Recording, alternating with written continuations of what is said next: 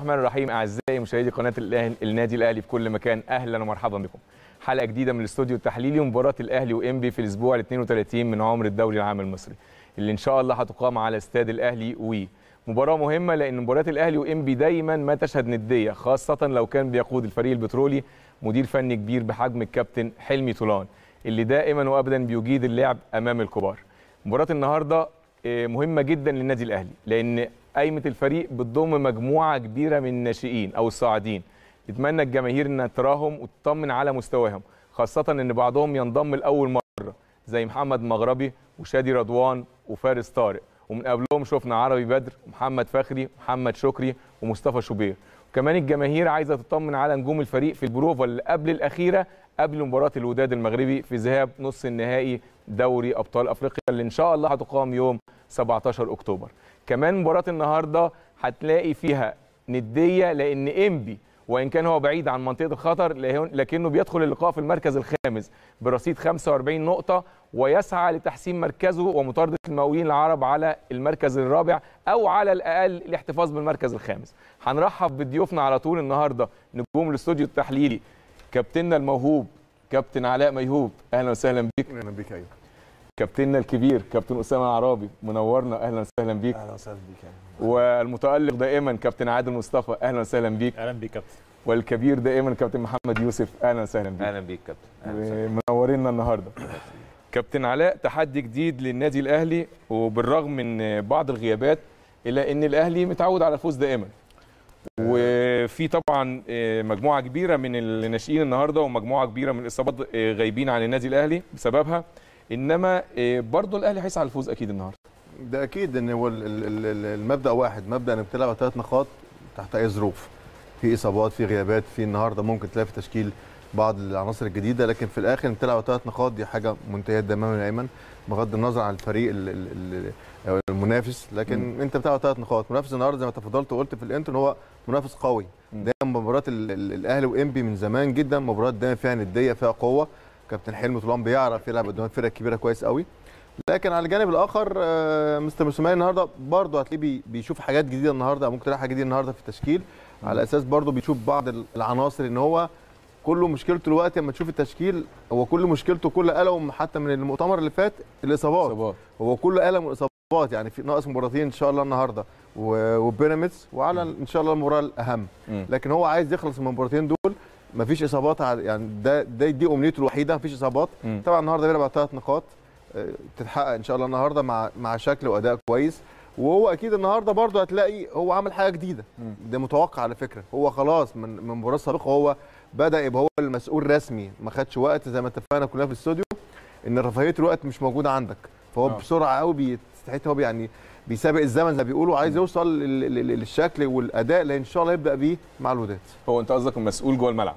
آه طبعا. لأن طبعا هو أعتقد إن هو ما يعرفش كتير من الناشئين دول.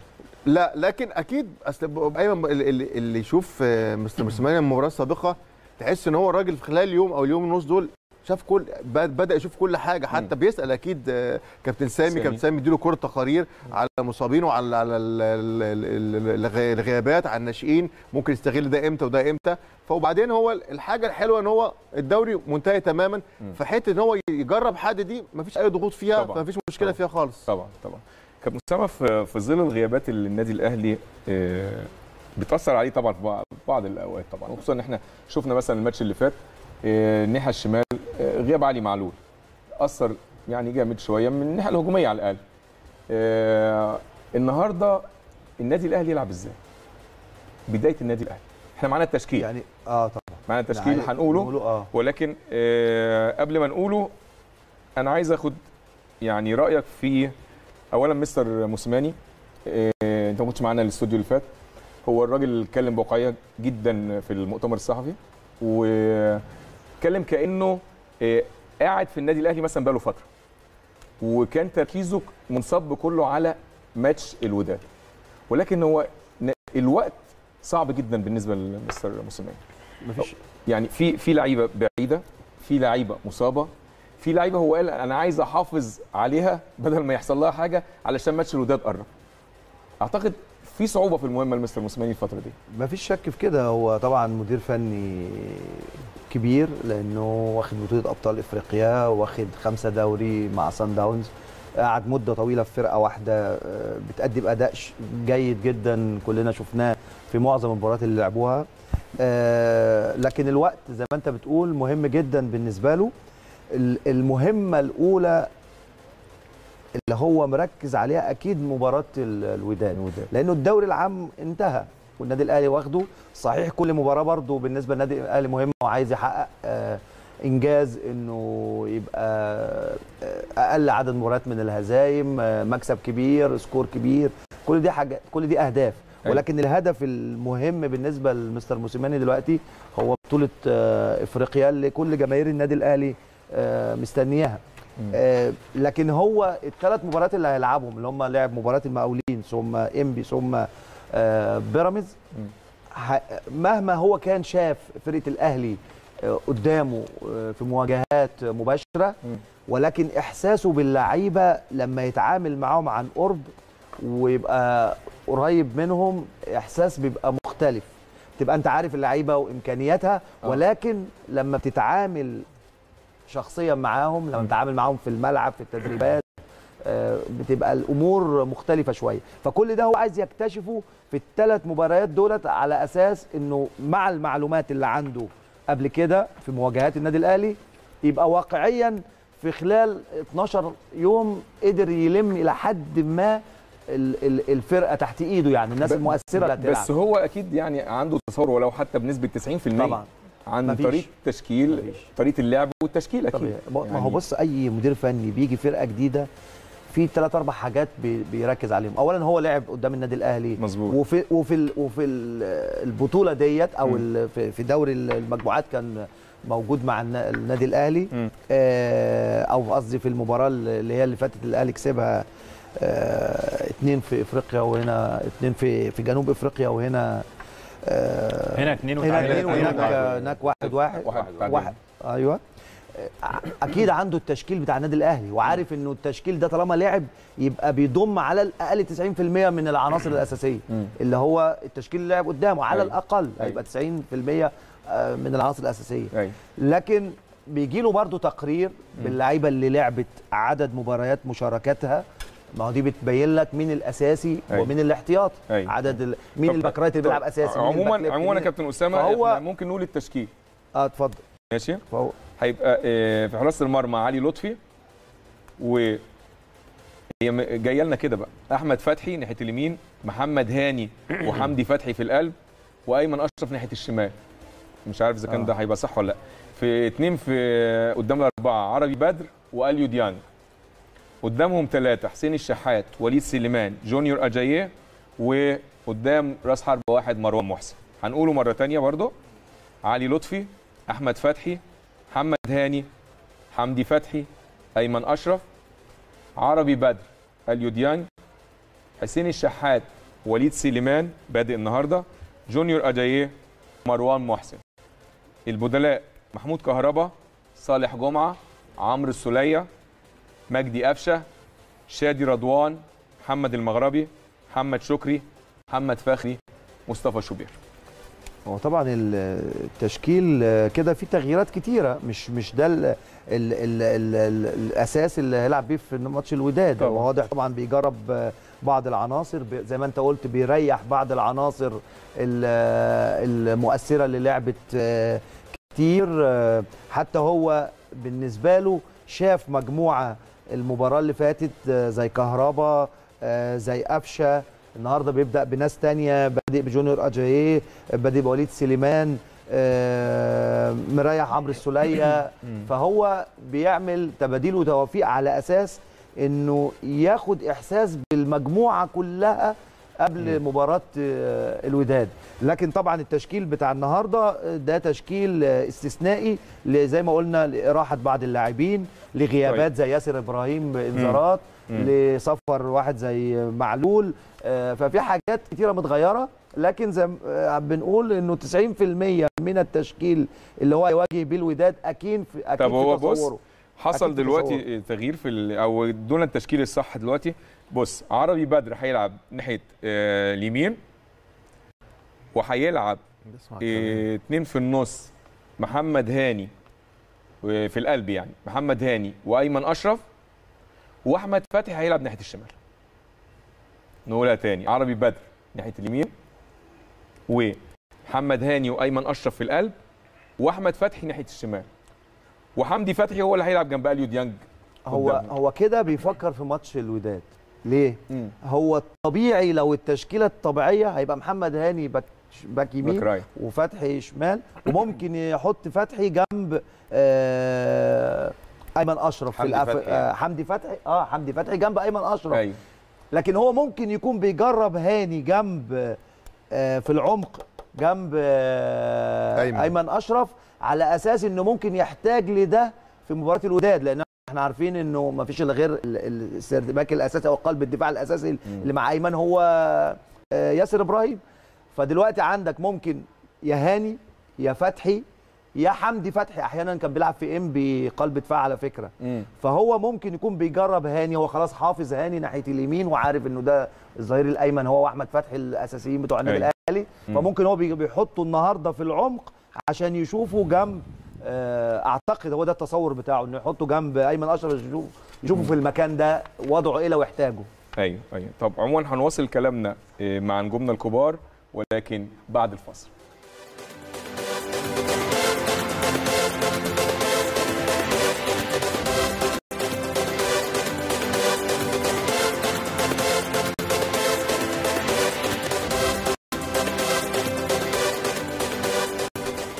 نرحب بيكم مرة تانية أعزائي المشاهدين. وكنا بنتكلم على تشكيل النادي الأهلي وكابتن محمد. إيه عربي بدر ناحية اليمين. وأنت قلت لي قبل الاستوديو إن هو بيلعب ديفندر في نص الملعب. وأحمد فتحي ناحية الشمال. آه، بص يا كابتن هو طبعا آه، الدفع بعربي بدر طبعا دي نقطة إيجابية جدا. يعني مم. إحنا كلنا حتى مبسوطين وكنا بنتكلم في الاستوديوهات قبل كده إن الدوري اتحسم من سبع لقاءات قبل قبل النهاية بسبع لقاءات ف أو مباريات. فكنا بنتمنى إن يتم الدفع ب- بعدد من قطاع الناشئين. وطبعا آه، موسيماني مؤخرا طبعا لما جه طلع شكري أو شكري كان موجود طلع المغربي وطلع شادي رضوان.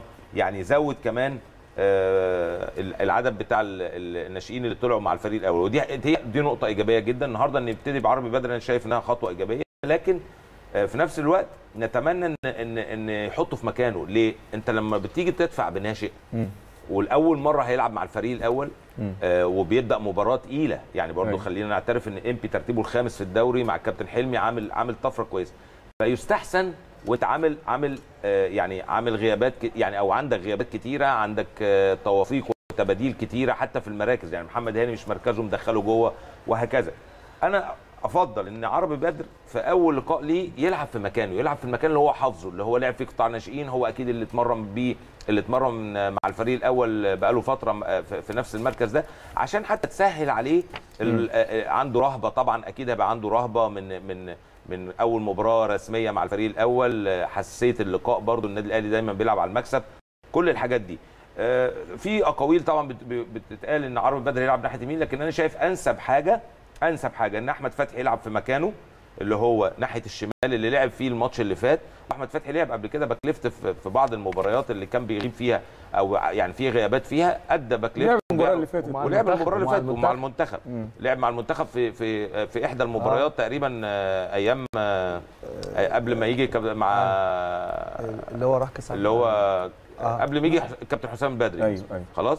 فاللي أنا عايز أقوله إن عندك حمدي فتحي ومحمد وأيمن أشرف آه sorry محمد آه آه محمد هاني. يبقى في مكانه back right وأحمد فتحي back left والاثنين اللي في القلب يبقى موجود حمدي فتحي وأيمن أشرف.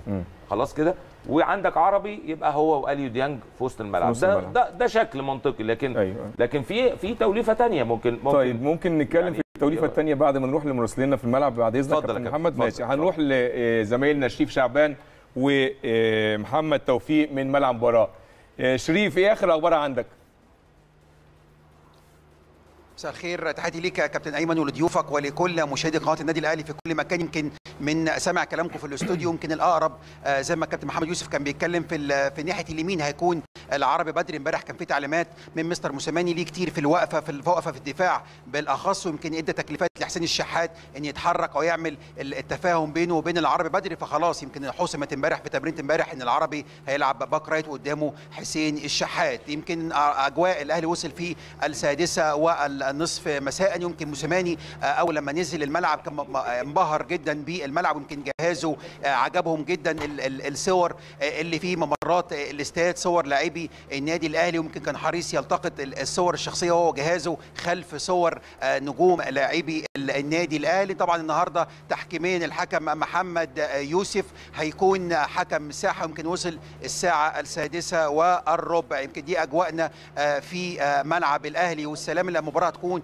في الثامنة مساء. خليني أقول لك الخط الأمامي حسين الشحات ناحية اليمين وليد سليمان مركز 10 أجايين ناحية الشمال وطبعا مروان محسن في الأمام. دي كانت كل أجواءنا من استاد الأهلي والسلام يا رب بإذن الله يكون الأهلي النهارده قادر على الفوز على فريق إنبي والحصول على ثلاث نقاط جداد تضاف إلى الرصيد وعوده ليك من جديد كابتن أيمن. اتفضل. بإذن الله إن شاء الله كل التوفيق للنادي الأهلي. ومن شريف هنروح لزميلنا العزيز محمد توفيق ويكلمنا على آخر الأجواء في إنبي. مساء الخير يا كابتن أيمن. برحب بحضرتك ونجوم الاستوديو التحليلي ضيوفك الكرام وبكل مشاهدي قناة النادي الأهلي في كل مكان. يتجدد اللقاء وجولة جديدة من جولات الدوري العام المصري ومباراة إنبي والنادي الأهلي في إطار مباراة الأسبوع الثاني والثلاثين. يمكن المباراة هنا الأجواء أكثر من رائعة. في سنه هوا كده في الملعب هتبقى مع الفريق اللي بيلعب على يسار المقصورة لكن الأجواء بشكل عام أرضية الملعب كل شيء إن شاء الله يبشر. ان إحنا هنشوف مباراة كبيرة بين ناديين كبار. يمكن نتكلم بقى عن أجواء نادي انبي يمكن نادي انبي وصل قبل المباراة بساعتين كاملتين في تمام الساعة السادسة. كان ليا حديث مع كابتن حلمي طولان قبل دخوله الغرف الملابس قال لي إحنا النهارده بنلعب مباراة كبيرة قدام نادي كبير النادي الأهلي. النادي الأهلي حسم البطولة. إحنا لسه عندنا أمال إن إحنا نحسن مركزنا. يمكن إحنا داخلين عندنا 45 نقطة النهارده في المركز الخامس. بنحاول إن إحنا نأدي بشكل كويس ونحقق نتائج كويسة في المباريات المقبلة سواء النادي الأهلي أو المباراتين المتبقيتين بحيث لو في فرصة يبقى في أمل على المركز الرابع مع المقاولين العرب. يمكن نادي الإنبي النهارده بيلعب تقريبا بتشكيله أساسي باستثناء غياب محمد شريف يمكن أبرز الغيابات محمود غالي الإصابة عمرو حسام حارس المرمى ومحمد شريف اللي بند الأعارة من النادي الأهلي بينص على عدم مشاركته أمام النادي الأهلي. يمكن محمد شريف انتهز الفرصة وأخذ إذن زي ما كابتن حلمي طولان قال لي اخذ إذن منه ودخل عيش الزوجية بنبارك له ونتمنى له يا رب تكون بداية الحياة سعيدة وموفقة ليه في الفترة الجاية. دي كل اجواءنا كابتن أيمن عودة ليك ونجوم الاستوديو التحليلي شكرا جزيلا للزملاء الأعزاء شريف شعبان ومحمد توفيق من ملعب المباراه إيه كابتن يوسف عندك تعليق قبل ما نروح لكابتن عادل؟ آه عايز تكمل. آه اللي عايز أكمله اللي هي حتة آه، عربي بدر. فزي ما قلنا إن إن منطقي جدا إن محمد هاني يبقى back right وفتحي هو اللي يروح ناحية الشمال. زي ما أنت قلت كده شفناه الماتش اللي فات آه، كان back left وأيضا لعب مع كوبر. أيوه لعب مع كوبر برضو بعض المباريات في إصابة آه، عبد الشافي. كان هو back left. آه، فعنده خبرات. بقى كمل كمل الخبرات اللي عند أحمد فتحي؟ هتسمح إن هو يتعامل مع مركز ظهير الأيسر أكتر من عربي بدر لو أنت حطيته كأول مباراة ليه رسمية وتحطه في مركز ال back right أما فيما عدا ذلك ال- ال- المراكز كلها آه، منطقية جدا. آه، جونيور اجاييه حسين الشحات آه، أتمنى آه، دي يمكن ثالث مباراة على التوالي آه،. يبدأ. ودي حاجة كويسة جدا. آه، كنت أتمنى أشوف كهربا برضو النهارده. آه، لكن آه، آه، آه، لا آه، سوري آه، مش كهربا وليد سليمان كمان هي النقطة اللي عايز أتكلم وبادئ. فيها آه ما أنا آه، بقول لك آه. وليد سليمان من الإيجابيات هو وحسين الشحات كل الأوراق دي مهمة جدا إنها مم. تجهز إنها تاخد 90 دقيقة كاملة عشان يوم 17 لما تيجي تلعب قدام الوداد يبقى عندك أوراق تقدر تقارن ما تبقاش محدود في الفكر بتاعك إنك آه. عايز تحط آه، فلان أو علان لما تيجي تفكر في مثلا مثلا وليد سليمان لا أصله بقاله فترة ما بيبدأش. أيوة. طب حسين أصله بقاله فترة ما كده. لكن لما يبقى قدامك ورق آه، متاح هتقدر تختار. وحتى اللي مش هي... مش هيبقى في البداية ممكن يبقى ورقة معاك مم. قوية جدا لأن مهم جدا المباريات الكبيرة دي يبقى معاك ورق بيؤثر. أيوه. مش مش مجرد بدلاء وهغير وخلاص لا. أيوة. لما يبقى معاك 3 4 5 تقال على الدكة أسامي تقدر تحدث تغيير في الملعب في ايا كان بقى إيه متطلباتك؟ عايز تستحوذ عايز تهدي الدنيا عايز تعمل فعالية هجومية متأخر بهدف أو متعادل ايا كان يعني. نتمنى بس ربنا يبعد عنهم الإصابات يا رب إن شاء الله. بإذن الله. معانا تشكيل إنبي آه، محمود جاد لحراسة المرمى آه، علي فوزي ناحية اليمين في القلب رامي صبري أسامة جلال ناحية الشمال كريم فؤاد. ثلاثة قدامهم حميد ماو محمد رزق عبد الرحمن عامر قدامهم اثنين تونيا ديليو ديليو محمود قاعود أحمد علي. مرة تانية محمود جاد علي فوزي رامي صبري أسامة جلال كريم فؤاد عبد الرحمن عامر محمد رزق حميد ماو محمود قاعود تونيا ديليو وقدام أحمد علي. كابتن عادل آه، إحنا لسه طبعا من يمكن من أقل من شهرين كان الأهلي وإنبي بيلعبوا بس هي كانت مباراة مؤجلة من الدور الأولاني. وإحنا كلنا عارفين أسلوب الكابتن حلمي طولان. هو على الورق هنا بيلعب 4 3 2 1 لكن أعتقد في الملعب بتبقى 4 3 3 صح؟ هي هو هي بتبقى 4 3 2 1 بس بتبقى ديب شوية. بتبقى هو بيبدأ بي- بيلعب من تحت بيلعب من نص نص الملعب. من كمان من تحت الدايرة. فبتبقى باينة يعني بتبقى 4 5 1 بيبقى شكلها 4 5 1 أيوه. و... ودي ال- الطريقة المعتادة لكابتن حلمي. وأعتقد من كابتن حلمي لو لو إحنا هنيجي نصنف المدربين من أول ال season كابتن حلمي أعتقد مسك انبي بعد المباراة الخامسة أو سته. وعمل بيهم أنا شايف إن هو عمل بيهم إنجاز. يعني. لو جينا صح. نختار أحسن من أحسن مدربين ال season ده لازم تحط كابتن حلمي في الحسبان. مظبوط. آه، مع مدربين كتير. ولكن أنا شايف مقدمتهم كابتن حلمي إن هو اخذ الفريق في في مركز متأخر جدا. وفضل يشتغل بيهم فترة طويلة لغاية ما وصل منطقة الأمان. وفي حاجة تحسب له أنا عجباني إن هو حتى بعد ما وصل منطقة الأمان ما حاولش يعني يعني زي ما بيقولوا إيه يغير برده كتير. مش. مش ما بيروحش ح... ما بيروحش للريسك قوي. هو عارف امكانيات لعيبته عارف إن لعيبته أحسن حاجة بتأديها إيه مم. بيشتغل عليها. أحيانا بيحاول يلعب كره من تحت أحيانا مش طول الوقت ولكن هو عارف إمكانيات لعيبته وبيشتغل عليهم كويس جدا. بيشتغل في الأمان جدا وأنا شايف إن هو من أحسن الفرق اللي أدت الفترة اللي فاتت ما قبل الكورونا وما بعد الكورونا. هم كسبوا برضه ماتشات آه، بالصبر.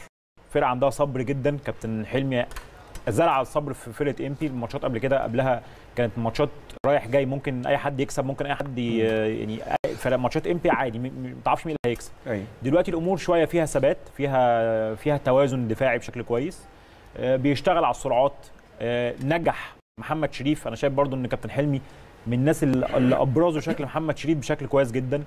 خلق له 30 40 متر بيجري فيهم بشكل كويس جدا. آه، اللعيبة اللي موجودة آه، بتلعب كتيم ما بتلعبش كأفراد. قبل كده انبي شوية بيشتغل. ومع- ومعانا ملخص ماتش الأهلي وانبي اهو على الشاشة. آه، اللي هو مباراة الدور الأول اللي إحنا لسه لاعبينها من شهرين. قريب وأعتقد يعني مش هتتغير كتير. يعني فرقة انبي إحنا ال- الأهلي هو اللي هيتغير شوية إن الأفراد مت- متغيرة. أيوة. ولكن فرقة انبي هي هي نفس الطريقة. الكرة دي كرة مكررة على انبي من من سنين طويلة جدا. أيوه. آه، بحكم اللعيبه الارتكاز لعيبه قلبي الدفاع اللي في انبي لعيبة الكرة كويسة جدا بيفكروا كويس جدا ولكن والكرة قدامهم. مم. والكرة في ظهرهم عندهم مشكلة. وخد آه. بالك دي مش عند انبي بس عند معظم فرق الدوري ولكن انبي عشان بيفكروا أكتر بيلعبوا بيحاولوا الاثنين المساكين ال- بي- بيبقى في توقع أكتر فبيبقى في آه، مساحه مسافة كبيرة وراهم. فدي اعتقد هي دي دي الكرة ال- الأساسية اللي اي فرقة أي حد هيلاعب انبي هيشتغل عليها. الحاجات اللي في ظهر ال defense حتى المباراة الأولانية قعدنا نتكلم قلنا إنبي هيجي في جون في كوره في ظهر ال defence. وده اللي حصل من كرة محمد هاني. صحيح. هم مميزين جدا في الكوره قدامهم بيشتغلوا عليها بشكل كويس جدا.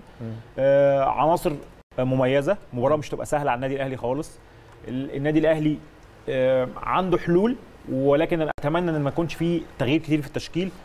كنت أتمنى إن حمدي فتحي بالنفس اللي موجودة آه، باستثناء بس عربي. عربي لعيب كويس كل حاجة ولكن ممكن أشيله واحط مكانه شكري.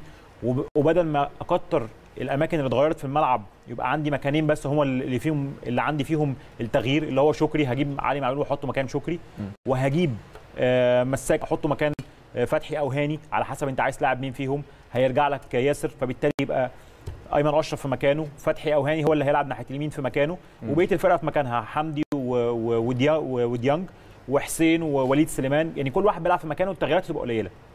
كمان لما يبقى في تغييرات كتير وفي لعيبة صغيرة عندك بتبقى الأمور فيها صعوبة شوية. كمان لازم ناخد بالنا من حتة علي لطفي كمان. علي لطفي بقى له فترة طويلة ما بيشاركش محتاج الناس اللي قدامه تبقى حافظة أماكنها أكتر تبقى موجودة في مكانها مش محتاج تغييرات كتير. علي لطفي برضو أنت محتاج إن أنت آه، معنويا تدعمه الفترة دي بشكل كويس. علي جول جول جول جول كبير جول محترم. آه، قبل ما يجي النادي الأهلي كان بيأدي بشكل كويس جدا مع إنبي ومن من الأجوان ال- المحترمة جدا. كان موجود في مع مع في كأس عالم الشباب آه، مع كابتن هاني رمزي. وبعد كده بدأ يشتغل في إنبي بشكل كويس وكان رقم واحد. بس البعد عن الملعب بيأثر. ده طبيعي جدا. لو جينا أعتقد بصينا عادل أعتقد إن هو كان بيلعب في إنبي يعني على أبو جبل متهيألي صح؟ لا بص هو أبو جبل وعامر كانوا بيت ومهدي بس مين كان رقم واحد؟ ما كان ما كنتش تعرف. كانوا يعني بيتناوبوا، جت صح؟ فترة علي هو رقم واحد. أيوة. وبعد كده تلاقي أبو جبل وبعد كده تلاقي مهدي وبعد كده تلاقي عامر. لو جيت بصيت للأجوان الدوري هم دول أربع أربع أربع حراس مرمى. أربعة مميزين دلوقتي مصنفين جدا. يعني أبو جبل في الزمالك و... صحيح. ومهدي. ومهدي والمهدي ب- كمان. وعامر. لو جيت. علي لطفي ما يقلش حاجة عن عن عن ال- الحراس دي ولكن هو محتاج ياخد وقت أكتر. وخلينا نتفق إن كل الأجوان المميزة الحضري بقى مميز جدا بعد 30 سنة. أيوة. الشناوي بقى مميز قوي. في في داخل ال 30 30 سنة. سنة برضه. فحارس المرمى محتاج كم ماتشات كتيرة ومحتاج خبرات كتيرة فمحتاج إن أنت تقف معاه وتدعمه وتديله ماتشات كتير. فأنا أتمنى إن الأهلي يأدي بشكل كويس وأتمنى ما يكونش فيه تغييرات في التشكيل قوي يعني. بإذن الله رب العالمين عموما هنروح لفاصل ومن بعده نواصل حديثنا مع نجومنا الكبار. انتظرونا.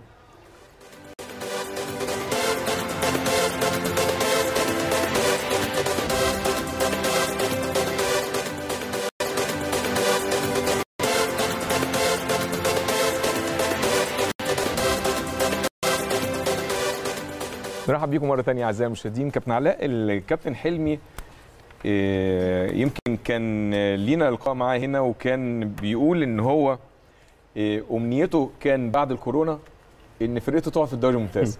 يمكن هو أنا قلت له أنت مبالغ شوية قال لي لا لا ده تقريبا معظم الفرق عايزة كده.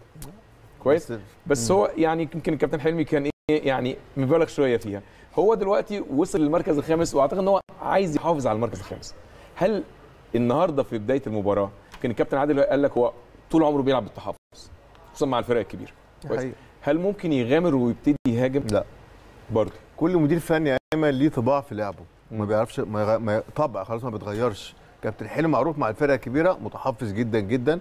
مش عايز يستقبل هدف دايما. دايما بيبقى هو رد الفعل. لو تعادل مش وحش كسب يبقى عمل إنجاز كويس. لكن النهارده استحالة يجازف ضد النادي الأهلي حتى في وجود التشكيل اللي يعني إلى حد كبير في تغيير بعض بعض الأماكن. لكن هو هيبدأ نفس طريقة لعبه. متحفظ كويس قوي قافل نص الملعب كويس قوي بيعتمد على الأطراف. يمكن يمكن علي, فوزي لعيب كويس وهو دايما بي- بيعتمد عليه في في, في الناحية الهجومية. بيعتمد على أحمد علي طبعا مشاكس ولعيب في لغة الكورة بنقول عليه يعني لعيب ثقيل قوي. آه انطلاقات محمود قعود لكن كل ده هو دايما هيستنى أنت هتعمل إيه يا أيمن ويبدأ يلعب على رد الفعل بتاعتك. لكن هو من الأول يبدأ مجازف وهو يبدأ يفتح الخطوط ما أعتقدش كابتن حلمي يعمل كده خالص لأن هو طبعه دايما مع كل الفرق كده. متحفظ بيعرف يكسب بيعرف ما يستقبلش هدف في الأول. دفاعه على فكرة عنده أربعة منظمين كويس قوي ورا. الغلطات قليلة جدا. نص الملعب يعني هو إنبي فيه ميزة يا أيمن فريق متوازن جدا. أيوه. مع مع كابتن حلمي كمان زي ما كان عادل تفضل وقال في الأول الشكل اتغير في كل حاجة. نتائج ساعدت كويس جدا. دايما نتائج كويسة كل حاجة بعد كده هي هي ده جول. محمد هاني في آه ماتش. آه ده حلو قوي الجول ده. اتكلمنا عليه كان حاجة جول حلو قوي يمكن الغلطة الوحيدة اللي عملها حارس المرمى كان عامل مباراة ممتازة. أيوة. لكن زي ما بقول لك أنا هو استغل ال- ال- ال- ال- العناصر الموجوده في إنبي. المكاسب اللي, قبل الكورونا وبعد الكورونا زودته قوي المركز الخامس بالنسبة لإنبي مع بدايته في بداية الدوري طبعا ده حاجة إنجاز يحسب له يحسب لكابتن حلمي واكيد فريق إنبي كله. لكن هو كابتن حلمي اللي قدر يعمل الطفرة دي بالتزامه بطريقة لعبه وهو على فكرة المدربين اللي بيحافظ على أدق أدق تفاصيل صحيح. في الملعب حتى في التمرين. صح. بيفضل في التمرين كده يقول لك يحفظك بيعرف يحفظ لعيبته كويس قوي. بيحب الالتزام قوي في الملعب قوي عشان كده تحس فريق إنبي فريق مش سهل إنك تجيب فيه جول بسرعة. أيوة. مش سهل إن هو ينهار لأ بيحافظ على شكله. طول ما هو صفر صفر ما عندوش أي مشكلة هيحاول يضايقك هيحاول يقفل خطوطك كويس قوي هيحاول يقفل ال- الجناب بتاعتك النهارده هيحاول يقفل على حسين الشحات وعلى جنرال أجاييه لأن هو مش عايز الاثنين دول يبدأوا يتحركوا لكن لو هيعملوا نفس ال- ال- الشغل اللي حصل المباراة السابقة أيمن إن هم بيدخلوا جوه في حتة المساحات اللي فاضية أعتقد يبقى في مشكلة لفريق إنبي. زي ما كان بيعمل أيوه. آه كهربا وحسين الشحات هم كانوا بيسيبوا الأطراف وبيخشوا جوه وخطر جدا لما بيستلموا الكورة وبيسيبوا الأطراف للباكين الجنب. ماشي اتفضل. ماشي أنا ما دي هتكلم فيها مع الكابتن محمد حتة الباكين الطرف دي. آه كابتن أسامة آه في النهارده طبعا العربي بدر وأحمد فتحي. كابتن حلمي بيلعب على السرعات دايما وبيلعب على المساحات الفاضية. زي ما قال الكابتن عادل هو الكابتن علاء إن هو ما بيغيرش طريقة اللعب ابدا. هو كده على طول حتى لو بيلعب آه، فرقة صغيرة. السرعات مع وجود العربي بدر في ناحية اليمين وده مش مكانه.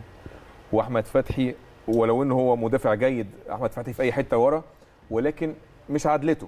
هيمثل صعوبة على النادي الأهلي. هم آه كابتن حلمي فعلا بيلعب على السرعات وتملي بيبقى بيلعب في الجزء اللي تحت نص الملعب وبعدين بيعمل لعب صغير وبعدين يعمل كرات عكسية لل... للأطراف. يعني إحنا معانا على الشاشة ال- آه. طريقة اللعب النادي الأهلي 4 2 3 1 وانبي 4 3 2 1 مظبوط. فهو بيعمل تجميع لعب في منطقة وبعدين يعمل آه، كرات عكسية بالذات الباكين عنده صراع. علي فوزي وكريم فؤاد. وكريم فؤاد أنا من الناس ال- ال- اللعيبة الكويسين اللي عاجبني يعني بيلعب back يمين و back شمال لعيب كويس وصغير في السن. علي فوزي عنده سرعات كتيرة. برضه قعود عنده سرعات. آه، ديليو دي- ديليو آه، برضو. أحمد علي يمكن مش فيه سرعات كبيرة بس مشاكس. لكن هو بيلعب على السرعات اللي في الأطراف. أحمد فتحي ما عندوش مشكلة. أحمد فتحي ما عندوش مشكلة. أحمد فتحي من أصعب المدافعين آه، إنك تلعب عليه واحد ضد واحد إنك تعدي منه في التغطيات جيد جدا لكن هو مش ما بيهاجمش ناحية الشمال كتير آه، يعني. مش طبيعته أكنه بيلعب سردباك متأخر مم. يعني بيلعب آه، تالت. باك آه يعني تالت. بيطلع بسيط في الشمال فما فيش قلق منه هو بس المشكلة هتبقى عند عربي بدر زي ما يوسف قال آه، مش مركزه الأساسي هو راجل ارتكاز أصلا.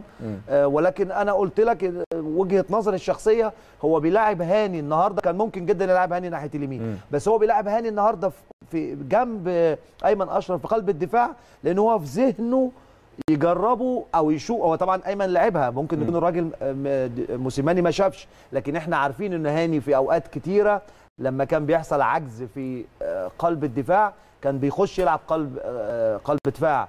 فهو ممكن يكون بيجربوا النهارده جنب آه، أيمن آه، أشرف. ممكن يحصل بعض اللخبطة بالذات عند العربي بدر لأنه صغير. مش مركزه لكن نتمنى له التوفيق. لكن هيعاني شوية آه، من سرعات كريم فؤاد ناحية ال- اليمين و و و وتوني دي ديليو. وأحيانا محمود قعود غالبا بيلعب ناحية اليمين. يمين يعني ما بيميلش قوي ناحية الشمال. بس ممكن لكن في معظم 80 90% من لعبه ناحية آه اليمين. آه أعتقد إنه برضو آه، عدم وجود شريف لأنه سرعات كبيرة جدا آه، أحمد ما ما عندوش ديت يمكن. لو كان في راس الحربة كانت تبقى مشكلة شوية. لأنه ال- الأهلي فيه بعض المشاكل شوية في الكرات اللي بتتلعب خلف المدافعين. يعني اللي هي في العمق خلف بالذات القلبي الدفاع ال- وشفناها في ماتش المقاولين آه. بتعمل مشكلة شوية لما يكون حد سريع أيوه فممكن دي بقى تبقى مشكلة لو قعود بيقطع لأنه قعود سريع. أو بس أحمد. بيتصيد الأخطاء في ال- جوه أحمد 18 أيوه أحمد آه، أخطر جوة ال 18 أو 6 يارد الكرات العرضية لكن السرعات آه، لا. مش مش كبيرة عنده أيوه أيوه. فأنا شايف إنه ممكن تبقى بس مشكلة بالنسبة للعربي بدر من مقابلة كريم فؤاد لأنه سريع ومتحرك كتير وشوية علي فوزي بي- بيلعب ناحية الطرف. لكن النادي الأهلي هو اللي هيبقى مبادر بالهجوم. وزي ما كلنا متفقين إن كابتن حلمي هيبقى متحفظ ويلعب على آه، مساحات مساحات. فاضية في الجناب أو كرات مرتدة أو كده. كابتن محمد آه، النهارده أنا شايف إن إحنا أو النادي الأهلي هيفتقد شوية الانطلاقات اللي هي من ناحية اليمين ومن ناحية الشمال طبعا الكرات العرضية. إيه أهم مفاتيح لعب النادي الأهلي في عدم وجود الأطراف النهارده الهجومية؟